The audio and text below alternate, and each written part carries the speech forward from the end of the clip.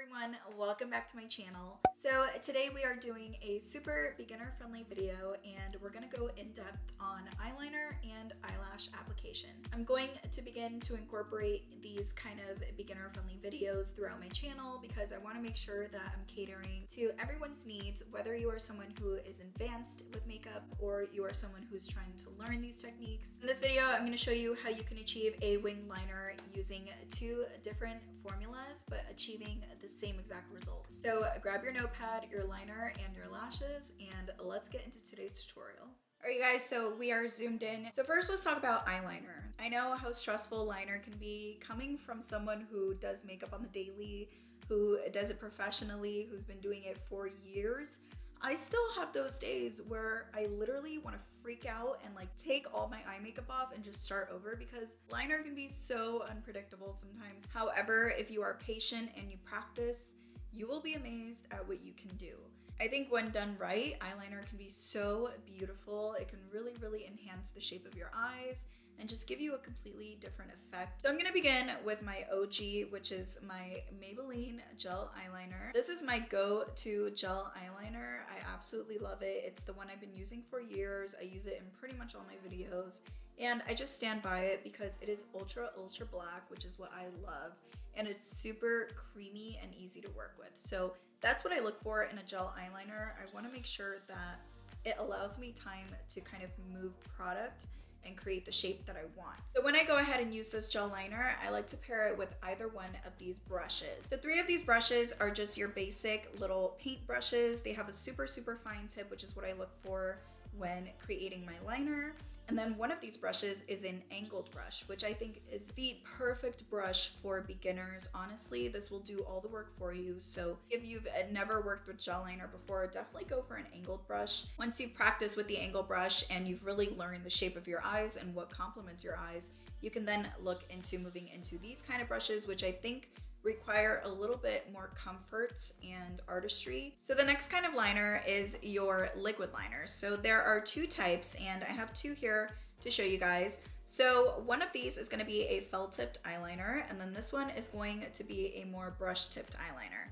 So again, for my beginners out there, I would recommend you begin with a pen liner. These are great because they are super easy to hold. It really does feel like you're holding a pen. With felt tips like this, I find it super easy to just kind of stamp this along the lash line, create your wing because it has that super, super precise tip. It's almost impossible to kind of not get the effect you want. And when shopping for felt tips, I always recommend to do your research and really, really find one that has really good amount of pigment because I find a lot of them don't give you that intense payoff and that's when it can kind of get tricky and you have to keep going over it. So again, just make sure you're looking into a felt tip eyeliner that has a lot of ink that's really going to give you that effect without you having to go over it multiple times. I've mentioned this one in previous videos already and it's honestly my holy grail. If you love black liner, definitely look into this one. It is the Haus Labs liner from Lady Gaga's brand. Another really great option would be the NYX Epic Ink liner.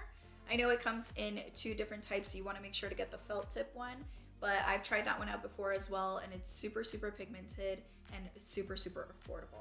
So because this is a beginner friendly video, I'm gonna go ahead and use the two methods that I recommended for my beginners out there. And this is just to give you two different options. Everyone is different. Some people are magic at gel liners, some people are magic at pens, some people are magic at both. So it's just a matter of finding what works for you. All right, so we're gonna begin with this side of the eye and I'm gonna go in with the angled brush that I showed you. So this one is the Morphe M158. So what I'm gonna do is I'm going to pop this into my gel.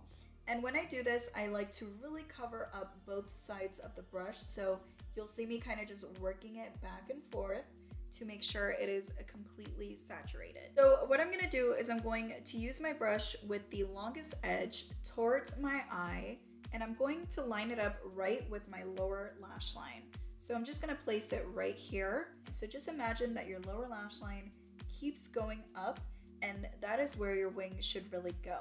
So again, placing my brush right against my lower lash line, I'm going to begin to create an extension of that. So again, remember we held our brush like so with the longest tip towards the lower lash line. So what I'm gonna do now is I'm gonna flip my brush.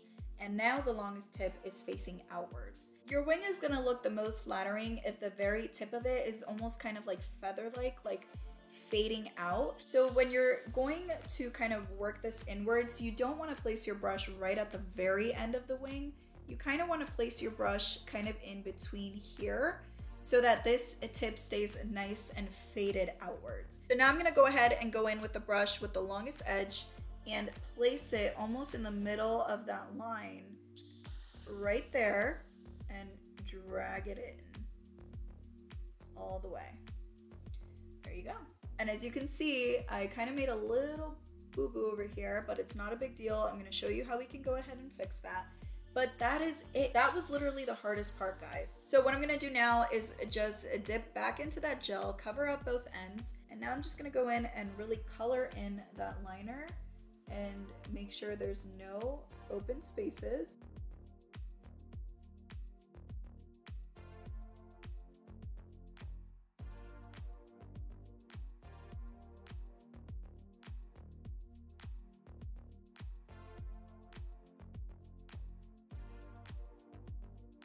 All right, so all we have to do now is kind of just tight line against the lash line and really kind of connect this to our waterline.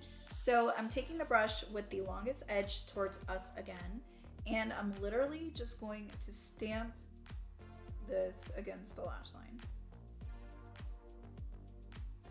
So now I'm using the brush with the longest edge towards the outside and I'm just going to kind of slightly tug onto my lid. I'm gonna place the angled brush where I begin to see the little divot over here and drag it in.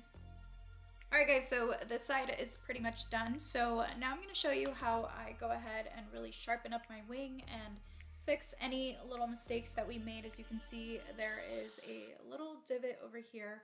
So I really, really want to sharpen that up. So what I'm going to do is pick up any concealer. This one is the NARS Soft Matte in the shade Creme Brulee. And I'm going to pick up a definer brush. This one is the Morphe M 410. It looks like this and it's perfect for cleaning up any little sharp edges. So like your liner, your lip color, anything like that. It's my all-time favorite brush. It's definitely replaced my MAC 212 that I used to always rave about. So I'm gonna go into my concealer and again, I'm gonna make sure to coat both sides of the brush. So what I'm gonna do is I'm literally going to work this right under the wing with a very light hand.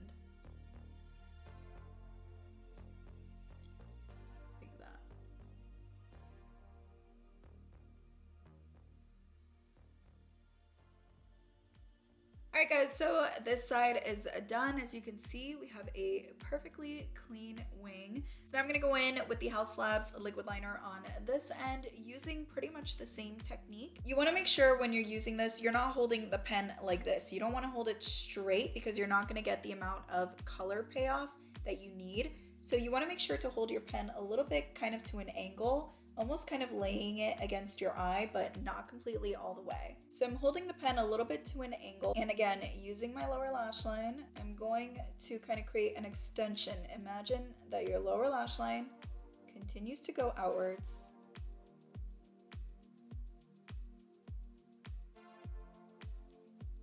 There you go.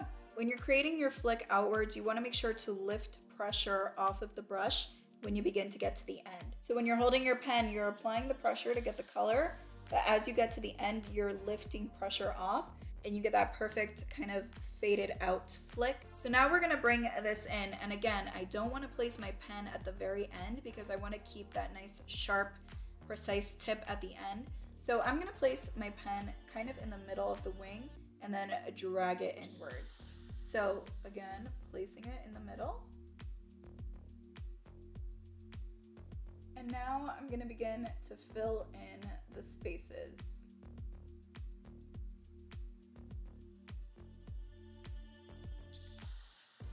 The really nice thing about these felt tips is it's super easy to kind of connect to the inner corner of the eyes. You're gonna lay the tip of the pen kind of against the lash line at an angle and you literally just have to tap down until you get to the very front.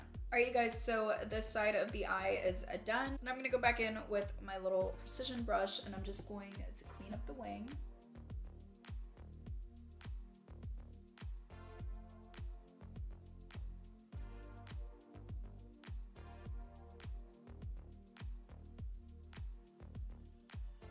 Alright you guys, so our eyeliner is all set. As you can see, we are looking super, super even on both ends. So now we're gonna get into lash application. Now, when picking your eyelashes, there are so many different kinds out there, but I highly recommend if you are a beginner to pick a lash that has a very, very thin band. So I have a few examples here that I think are really, really great. You can pick them up at the drugstore. The first one here is the Kiss So Wispy Lash Pack. I always find these at Walmart or Ulta, but you'll see these are a beautiful natural eyelash. They're very wispy, very similar to like our natural texture. The band is almost invisible. It is paper thin, guys. This is what I started out with when I got into makeup and I wanted to learn lash application. These are also great to wear without eyeliner. So yeah, so that is one great option. Another one is also by Kiss. These are in the style 10. And again, you can find these anywhere, Walmart, Ulta, Target. So because I have kind of my eyeshadow done and we're doing the whole shebang, I'm gonna go ahead and use my favorite Beauty Creations lashes. And these are in the style I Can't Even. So when you look at your lashes in the packet, you're gonna see that they always go from shorter to longest. And that is because our natural eyelashes do that as well. We always have shorter lashes in the front and longer lashes towards the ends. So rule of thumb when you go in to trim and customize your lashes, you're gonna wanna make sure to trim from the end of the lash, which is the longest part of the hair. You never wanna trim from the front. If you go ahead and trim from the front, when you apply these, they're gonna look super choppy and unnatural and they're not gonna blend in with your natural hair. So now I'm gonna give the lash a little tiny trim and I'm using these little eyebrow scissors and I'm trimming from the end of the eyelash just about that much. And then I'm gonna give them a good bend. I like to do this because it's really gonna help it hug my eyelash perfectly and really sit on there easily. So now before I apply my lashes, I'm gonna go ahead and prep the eyes. So I'm gonna take my lash curler and I'm going to give my lashes a good curl. So now you're just gonna wanna take any mascara. I'm gonna be using the Essence Lash Princess. And I'm just gonna go ahead and coat my lower and upper lashes really, really well. All right, so now that we've done the prep work, we're ready to apply our lashes. Now, I personally like to use a tweezer to place my lashes. If you are a beginner, I would highly recommend you pick up a lash applicator tool I don't have one on me at the moment, but you can find these anywhere. You can find them at the drugstore as well. And they just make it so that you apply your lashes safely, you know, without poking yourself or anything like that. Now, my favorite lash glue is actually the Duo brush tip. It's the one with the green font on it. I've been using it for years. I really, really love it. However, if you are someone with very sensitive eyes, I would probably go for a latex-free option. I know that Kiss actually makes a really, really great latex-free lash glue. So definitely look into that. But what I'm gonna do is I'm going to open up my glue and I'm going to take whatever's on the brush and I'm literally just going to run this against the band. Now when you're doing this, you wanna make sure to saturate a really, really good amount of glue onto the band. You wanna make sure to get a really good amount on both the ends and the inner corners of the lash because those are the areas that tend to lift the most. Now, once you've applied the glue, you kind of want to let that sit for a little bit. You don't want to place it on directly after you put the glue on there because it's not going to hold well. You want the glue to get a little bit tacky so that when you apply the lash, it really grips on and it doesn't move. So what I'm gonna do is literally place the middle of the lash to the middle of my lash line. Now I'm gonna grab my tweezer and I'm going to take the end of the eyelash and apply it to the end of my lash line.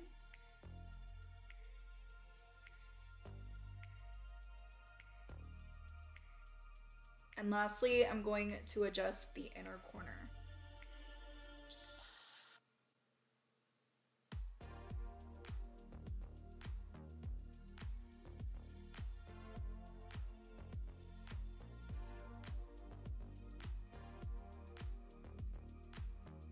Pretty much it guys. So once everything is done and you've applied your lashes, you can go ahead and take either your gel liner or your liquid liner and just cover up the band with that to really get everything looking nice and seamless. And you can kind of then manipulate your lashes. If you kind of want to give them a extra curl it'll give them more of like a dull-eyed look.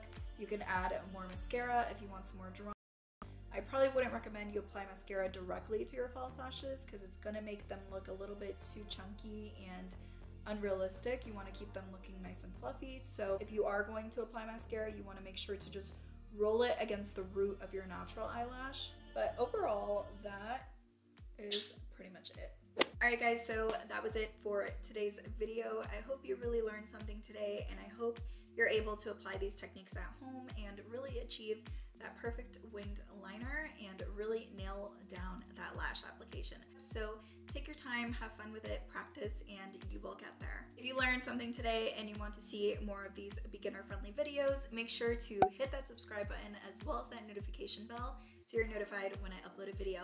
Also, make sure to give this video a huge, huge thumbs up. It really does help my channel and it lets me know that you are enjoying the content I am creating. Thank you guys as always for watching. I love you all so, so much and I'll see you on my next video.